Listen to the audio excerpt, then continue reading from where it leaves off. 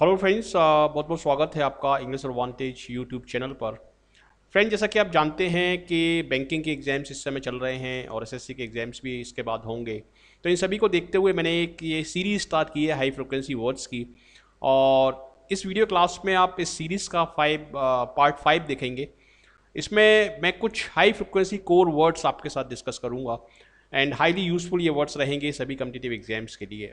Whether it is bank P O clerk S S C और any other exam these words are highly useful तो इन words को हम discuss करेंगे।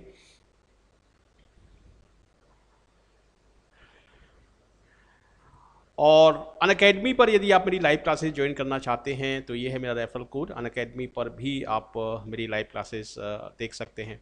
देखिए ये वर्ड्स जो हैं मैं प्रीवियस क्लासेस में ऑलरेडी डिस्कस कर चुका हूँ। तो यहाँ से इस सीरीज़ का नेक्स्ट पार्ट मैं लूँगा। और देखिए हाईली यूज़फुल ये वर्ड्स हैं। तो यहाँ तक uh, मैंने लास्ट टाइम uh, किया था। तो अब मैं यहाँ से आपको बताऊँगा ठीक है? तो इसके पहले के जो वर्ड्स हैं जो अभी मैंने आपको बताए थे ये प्रीवियस uh, जो क्लासेस मिलेंगी मेरी वीडियो क्लासेस उनमें ये सारे वर्ड्स आपको, उनका, इनका एक्सप्लेनेशन आपको मिल जाएगा। तो उन वीडियो क्लासेस को आप देख सकते हैं। यहाँ से हम नेक्स्ट वर्ड से स्टार्ट करेंगे। देखिए, एक ये बहुत ही इंपॉर्टेंट वर्ड है, बहुत कॉमनली ये पूछा जाता है कम्पिटेटिव एग्ज़ाम्स में प्लॉजिबल प्लॉजिबल का क्या मतलब है? ऑफ़ एन आर्ग्यूमेंट और स्टेटमेंट सीमिंग रीजनेबल और प्रॉबेबल मतलब एक ऐसा आर्ग्यूमेंट या एक ऐसा स्टेटमेंट जो जो रीजनेबल लग रहा है, जो प्रॉबेबल लग रहा है, लेकिन हो सकता है वो वैसा ना हो। लेकिन बाहर से देखने पर वो रीजनेबल लग रहा है जस्टिफाइड लग रहा है। अप्लॉजिबल एक्सप्लेनेशन मतलब जो सही लग रहा है। और इसके जो सुनोनिम्स होंगे, वो होंगे रीजनेबल क्रेडिबल बिलीवेबल फीजेबल देखिए, ये भी एक काफ़ी अच्छा वर्ड है। एक फीजेबिलिटी टेस्ट भी होता है, जिसमें हम किसी चीज़ की प्रैक्टिकलिटी को देखते हैं, कि इसको प्रैक्टिकली किया जा सकता है कि नहीं। वो होता है फीजेबिलिटी टेस्ट कोजेंट का मतलब भी कन्विंसिंग होता है, ठीक है? तो ये एक हाई फ्रिक्वेंसी वर्ड है और रीडिंग कॉम्प्रीहेंशन में इसको आप देखेंगे क्लोज टेस्ट में इसको आप देखेंगे। प्लॉजिबल का क्या मतलब है? सीमिंग रीजनेबल और प्रॉबेबल ऐसा लग रहा है कि ये रीजनेबल है प्रोबेबल है या जस्टिफाइड है, सही है। लेकिन हो सकता है सिचुएशन उससे थोड़ी सी अलग हो। प्लॉजिबल इसको हम बोलेंगे। देखिए, ये भी एक हाई फ्रिक्वेंसी वर्ड है गलीबिलिटी गलीबल गलीबल हम उसको बोलते हैं जिसको आसानी से इन्फ्लुएंस किया जा सकता है।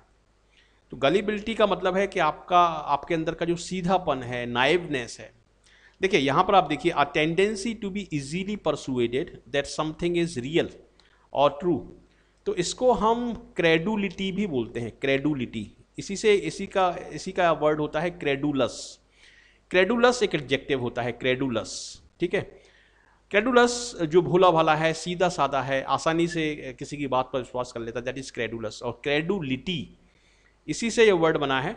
गलेबल भी हम एक सीधे साधे व्यक्ति को बोलते हैं जो आसानी से दूसरे की बातों में आ जाता है इन्फ्लुएंस हो जाता है दैट इज़ गलीबल और गाइल क्या होता है? व्हाट इज़ गाइल गाइल कनिंगनेस चालाकी या चतुराई, उसको हम बोलते हैं गाइल ठीक है? एस्ट्यूटनेस भी बोलते हैं इसको, हम विलीनेस भी बोलते हैं।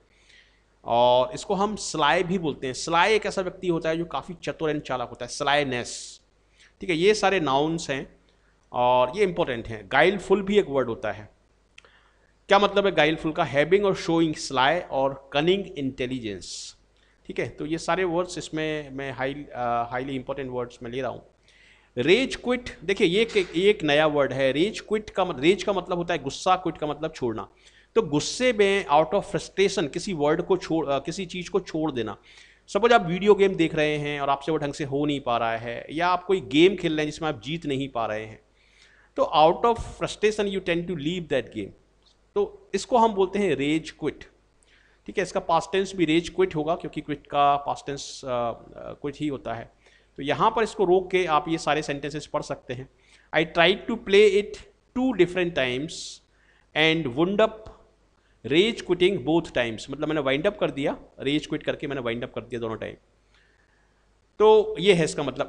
Everyone who is ever played a video game और had to deal with an uncooperative zipper knows the feeling you you get angry and abandon an activity because it frustrate the bejesus out of you. देखिए, यहाँ पर एक ये phrase आया है, bejesus out of you. मतलब काफ़ी ज़्यादा फ्रस्ट्रेट आप हो जाते हैं। बिजीजस आउट ऑफ़ यू मतलब ये इम्फेसिस के लिए यूज़ होता है। और जब आप किसी चीज़ को छोड़ देते हैं गुस्से में, आप एंग्री होके उसको छोड़ देते हैं तो उसको हम बोलते हैं रेज क्विट काफ़ी इंपॉर्टेंट ये वर्ड है। अब देखिए, ये भी एक नया वर्ड आया है मेकाइवर क्या मतलब है इसका मेकाइवर मेक और repair an object in an improvise और इन्वेंटिव वे यानी इम्प्रोवाइज करना, किसी सिचुएशन कोई चीज़ है, उसको ऑन द स्पॉट बना देना क्रिएट कर देना इन्वेंट कर देना। ठीक है? मेक और repair an object in an improvise और inventive way making use of whatever items are at hand मतलब सपोज़ कोई भी चीज़ आपको बनाना है सपोज़ एक पोएम लिखना है आपको। एक गाना लिखना है, पहले से तैयार नहीं है, उसको आप ऑन द स्पॉट तैयार करते हैं दैट इज़ इम्प्रोवाइज और मैकाइवर ये एक नया वर्ड है। बिजीजस हम लगाते हैं इम्फेसिस के लिए यूज़ टू एक्सप्रेस सरप्राइज़ और for emphasis I had a nightmare that I saw Todd naked and it scared the bejesus out of me. Scared the bejesus out of me मतलब बहुत ज़्यादा उसने इसको स्केयर कर दिया। तो ये इसका मतलब है। ठीक है? चलिए, आगे के कुछ वर्ड्स एफिसियो नाडो ये भी एक अच्छा वर्ड है। एफी who is aficionado a crossword aficionado किसी भी एक फ़ील्ड का, ठीक है, किसी भी एक डोमेन का कॉनीसर या एक्सपर्ट या अथॉरिटी या स्पेशलिस्ट एक ऐसा व्यक्ति जिसका उसमें बहुत ज़्यादा इंटरेस्ट है, बहुत ज़्यादा नॉलेज है और वो इंथुजियास्टिक है उस उस चीज़ के बारे में। क्रॉस वर्ड एफ़ नाडो बोल सकते हैं, फुटबॉल एफ़ नाडो बोल सकते हैं, क्रिकेट एफ़ नाडो बोल सकते हैं, चेस एफ़ नाडो बोल सकते हैं। तो बहुत ही इंपॉर्टेंट ये वर्ड है और यहाँ पर मैं एक वर्ड आपको और बता रहा हूँ, ये भी काफ़ी बार एग्ज़ाम में पूछा गया है सेवंट ठीक है? तो ये भी इसका इक्विलेंट वर्ड है सेवंट और हाईली यूजफुल ये वर्ड है। कॉनीसर भी, कॉनीसर की स्पेलिंग बहुत इंपॉर्टेंट है C O double N O I double S E U R connoisseur. चलिए इन वर्ड्स को देखते हैं। देखिए रेंडो क्या होता है? बट हर्ट का मतलब बताता हूँ आपको what is rando rando can be creepy the word describe an odd और suspicious person you do not know एक ऑड व्यक्ति, एक सस्पिशियस व्यक्ति, एक डाउटफुल व्यक्ति जिसको आप जानते नहीं हैं। नॉर्मली एंटी सोशल एलिमेंट्स के लिए भी इसको हम यूज़ करते हैं rando rando often engages in socially inappropriate behaviour so try to keep your distance from randos ठीक है? Rando sat on our favourite bench in the park and yelled at everyone who walk by मतलब वहाँ पर कुछ रेंडो या anti social elements बैठे हुए थे और वो चिल्ला रहे थे येल कर रहे थे स्क्रीम कर रहे थे, वहाँ से जो लोग गुजर रहे थे। तो rando a kind of anti social element आप मान सकते हैं। बट हर्ट का मतलब होता है जब आप बहुत बड़े, जब आप ज़्यादा किसी चीज़ का बुरा मान जाते हैं ऑफेंड कर जाते हैं। तो उसको हम बोलते हैं बट हर्ट ठीक है? रेंडो एंटी सोशल एलिमेंट है। इम्प्रोवाइज टू इन्वेंट और make something such as a speech और ए डिवाइस किसी किसी और, किसी चीज़ को ऑन द स्पॉट बना देना इम्प्रोवाइज तो इसी का इक्विवेलेंट एक वर्ड मैंने आपको बताया था मेकाइवर ठीक है? तो ये एक सीरीज़ में चला रहा हूँ हाई फ्रिक्वेंसी वर्ड्स की। और इस सीरीज़ के सभी पार्ट्स आप देखिए डेफिनेटली इससे बहुत हेल्प आपको मिलेगी। और यहाँ पर मैंने ये वर्ड्स लिए हैं। ये तीनों वर्ड्स मिलते जुलते हैं और काफ़ी कंफ्यूज करते हैं ये स्टूडेंट्स को। बिसेट का मतलब क्या होता है? बिसेट का मतलब सराउंडेड ठीक है नॉर्मली प्रॉब्लम से घिरा होना डिफ़िकल्टी या ट्रबल से घिरा होना तो उसको हम बोलते हैं बिसेट बॉदर हेरास हाउंड ये इसके इक्विलेंट वर्ड हैं। तो बिसेट बाय डिफ़िकल्टीज प्रॉब्लम से घिरा होना, ठीक है? बिगेट का मतलब होता है प्रोड्यूस जैसे हम बोलते हैं मनी बिगेट्स मनी पैसे से पैसा बनता है। ठीक है? तो प्रोड्यूस करना किसी चीज़ को जनरेट करना, और इसके लिए ये दो वर्ड बहुत इंपॉर्टेंट है। एक sire S I R E और एक होता है इन जेंडर इंजेंटर का मतलब है प्रोड्यूस सायर का मतलब है प्रोड्यूस स्पॉन भी एक इंपॉर्टेंट वर्ड है स्पॉन प्रोड्यूस करना। जनरेट प्रोड्यूस करना। इंजेंडर प्रोड्यूस करना। सायर प्रोड्यूस करना। बिगेट ये है बिसेट और ये है बेहोल्ड बेहोल्ड का मतलब होता है किसी चीज़ को निहारना। पॉजिटिव सेंस में इस वर्ड का यूज़ होता है। स्टेयर का मतलब होता है घूरना किसी चीज़ को। स्टेयर एक निगेटिव वर्ड है बेहोल्ड एक पॉजिटिव वर्ड है। ठीक है? Beset beget and behold. What is ergonomics? Ergonomics क्या होता है? Scientific study of people and their working conditions. Ergonomics में हम एक ऑर्गेनाइजेशन में लोगों की वर्किंग कंडीशन की स्टडी करते हैं। यदि वर्किंग कंडीशन अच्छी है तो इफेक्टिवनेस ज़्यादा आएगी। ठीक है, वहाँ पर चेयर जो हैं, वो कंफर्टेबल हैं टेबल कंफर्टेबल है एसी रूम्स हैं। तो एर्गोनॉमिक्स में हम वर्किंग कंडीशंस की स्टडी करते हैं। देखिए, ये भी एक हाईली इंपॉर्टेंट वर्ड है aspersion casting aspersion on you किसी को नीचा दिखाना, किसी की बुराई या निंदा करना एसपर्सन्स इसके लिए काफ़ी सारे वर्ड्स मैंने यहाँ पर लिखे हैं, और इसमें से कुछ वर्ड्स बहुत ही ज़्यादा इंपॉर्टेंट हैं। देखिए, पहले इसका मीनिंग और डिटेल में मैं बता देता हूँ. An attack on the reputation और इंटीग्रिटी ऑफ़ समवन और something I do not think anyone is casting aspersion aspersions on you highly important ये वर्ड है. कास्टिंग एस्पर्सन्स हम बोलते हैं. विलीफिकेशन इसको हम बोलते हैं. डिस्पैरिज हम बोलते हैं इसको. और इसमें एक ऑप्रोब्रियम ये भी एक इंपॉर्टेंट वर्ड है. फ्लैक एक इंपॉर्टेंट वर्ड है. कैलुमनी एक इंपॉर्टेंट वर्ड है. तो ये सारे इंपॉर्टेंट वर्ड हैं. अप ब्रेडिंग इंपॉर्टेंट वर्ड है.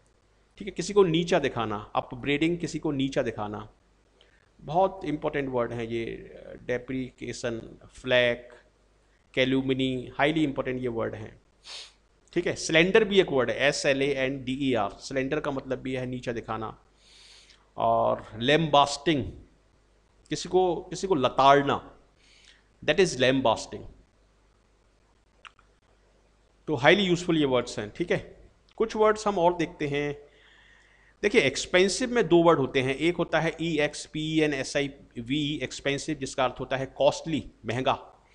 और E X P A N S I V इसका मतलब क्या है? एक्सपेंसिव इसका मतलब होता है talkative frank and communicative talkative के लिए हम गैरुलस वर्ड भी इस्तेमाल करते हैं। ठीक है गैरुलस और लोकेसस इसके लिए एक वर्ड है लोकेसस रेटिसेंट उसका उल्टा है। रेटिसेंट का अर्थ होता है रिज़र्व तो ये दो वर्ड्स इंपॉर्टेंट हैं, इसके अलावा क्रीपी एक वर्ड है। क्या मतलब है क्रीपी का? Causing an unpleasant feeling of fear and unease suppose आप किसी स्ट्रेंज मकान में जाते हैं या जंगल में जाते हैं, किसी घर में आप घुसते हैं तो वहाँ पर जो फीलिंग होगी आपको, आप अनईजी भी फील करेंगे और आपको डर भी लगेगा। दैट इज़ क्रीपी ठीक है? The creepy feeling one often gets in a strange house तो ये इसका मतलब है व्हाट इज़ स्नैकेबल स्नैकेबल जो जिसको कंज्यूम करना आसान है, जिसको शेयर करना आसान है, ठीक है? तो स्नैकेबल हम उसको बोलते हैं easy for readers to consume and share askance इसका क्या मतलब है? स्कांस एक्चुअली एक एडवर्ब है, और इसका मतलब होता है डाउटफुल या सस्पिशियस डाउटफुल या सस्पिशियस या डूबियस ठीक है? The reformers looked askance at the mystical tradition looked askance adverb है ये। देखिए वर्ब के बाद आया है यहाँ पर। और इसको आस्केंस नहीं पढ़ते स्कांस पढ़ते हैं। देखिए लुकड लुकड स्कांस मतलब लुकड सस्पिशियस सिनिकल एक ऐसा व्यक्ति होता है जो हर किसी पर डाउट करता है। दैट इज़ सिनिकल लेकिन सस्पिशियस uh, कुछ पर्टिकुलर सिचुएशंस में यूज़ होता है। They looked askance at our scruffy clothes scruffy मतलब मैसी स्कांस का मतलब होता है डाउटफुल प्लेटीट्यूड्स ये प्लेंटीट्यूड से अलग है. प्लेटीट्यूड का मतलब होता है कोई भी ऐसी कहावत, कोई भी ऐसी बात जिसको बार बार हज़ारों बार कहा गया है और अब वो अपना इंटरेस्ट हो चुकी है तो उसको हम बोलते हैं platitude she began uttering liberal platitudes she began uttering liberal platitudes इसको हम क्लीशे भी बोलते हैं इसको हम ट्रूइज़म भी बोलते हैं इसको हम कॉमन प्लेस भी बोलते हैं इसको हम हैकनीड भी बोलते हैं। बैनल भी इसको हम बोलते हैं बैनल ठीक है? ट्राइट ये वर्ड्स आप बार बार रिवाइज करेंगे आ, याद हो जाएँगे आपको ये। ओल्ड चेस्टनट ठीक है? बैनल बैनल मतलब घिसा पिटा। बार बार बोला गया। इसको हम क्लीशे भी बोलते हैं क्लीशे क्लीशे बैनल का मतलब भी कॉमन होता है। ठीक है? तो हाईली यूजफुल ये वर्ड्स हैं प्लेटीट्यूड्स इसको हम बोलते हैं। मैनूवर का क्या मतलब? जैसे आप गाड़ी चलाते हैं या बाइक चलाते हैं तो कितना उसको स्किलफुली या केयरफुली उसको मूव कराते हैं आप। ठीक है, जैसे सर्कस में जो जो पर्सन होते हैं, वो जो लोग वहाँ पर दिखाते हैं अपना शो उनके लिए उनको वो अलग अलग तरीके से मैनूवर करते हैं अपनी बॉडी को और गेम्स को। ठीक है? तो इसका मतलब क्या है? मूव स्किलफुली और carefully the lorry was unable to many manoeuvre comfortably in the narrow street ठीक है? तो ये इसका मतलब है मैनूवर का मैनूवर इसको स्टीयर भी बोलते हैं ड्राइव भी बोलते हैं और केयरफुली गाइड और मैनिपुलेट किसी को किसी को केयरफुली गाइड करना या मैनिपुलेट करना समवन और something in order to achieve an end कोई गोल अचीव करने के लिए किसी व्यक्ति को मैनिपुलेट करना चालबाजी करना उसके साथ। ठीक है उसको भी हम मैनूवर बोलते हैं। काफ़ी अच्छा ये वर्ड है। कंस्पायर इसका एक मीनिंग हो सकता है। पुल स्ट्रिंग्स। डिसइन्वेस्टमेंट क्या होता है? डिस देखिए एक इन्वेस्टमेंट में कोई आ, कोई अथॉरिटी पैसा लगाती है। डिसइन्वेस्टमेंट में उस पैसे को वो वापस ले लेती है यानी उसकी जो असेट्स होती हैं उसको बेच देती है। तो उसको हम डिसइन्वेस्टमेंट बोलते हैं, इसको डिवेस्टीचर भी हम बोलते हैं डिवेस्टीचर और इसी से मिलता जुलता एक वर्ड है डिवेस्ट या डाइवेस्ट भी हम उसको बोलते हैं। डिवेस्ट या डाइवेस्ट का मतलब होता है डिप्राइव किसी व्यक्ति को किसी चीज़ से वंचित कर देना। ठीक है? तो ये सीरीज़ में चला रहा हूँ सारे वर्ड्स की हाई फ्रिक्वेंसी वर्ड्स इसमें मैं ले रहा हूँ। और आगे के वर्ड्स जो हैं, वो आगे की वीडियो क्लास में मैं कवर करूँगा, क्योंकि काफ़ी वर्ड्स में ऑलरेडी डिस्कस कर चुका हूँ और अन अकेडमी पर भी मैं पढ़ाता हूँ। तो अन अकेडमी पर यदि आप मेरी लाइव क्लासेस ज्वाइन करना चाहते हैं तो इसका लिंक भी आपको नीचे डिस्क्रिप्शन बॉक्स में मिल जाएगा। तो वहाँ से अन अकेडमी पर भी मेरी क्लासेस ज्वाइन कर सकते हैं और यूट्यूब पर तो आप देख ही सकते हैं। तो अभी मैं इस क्लास को वाइंड अप कर रहा हूँ और नेक्स्ट वर्ड्स जो हैं हाईली इंपॉर्टेंट वर्ड्स हैं, वो नेक्स्ट वीडियो क्लास में आप देख पाएँगे। तो इस वीडियो क्लास में इतना ही। अब मैं आपसे मिलूँगा नेक्स्ट वीडियो क्लास में। Thank you